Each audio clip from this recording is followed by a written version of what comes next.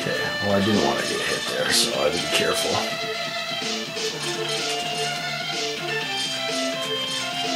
Ah, Tom Cruise.